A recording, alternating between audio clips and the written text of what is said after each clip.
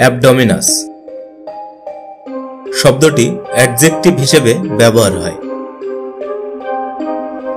যার অর্থ হচ্ছে পেট মোটা বা নাদা পেটা। শব্দটি ব্যবহারের ক্ষেত্রে বলা যায় রোহিম ইজ অ্যাবডোমিনাস।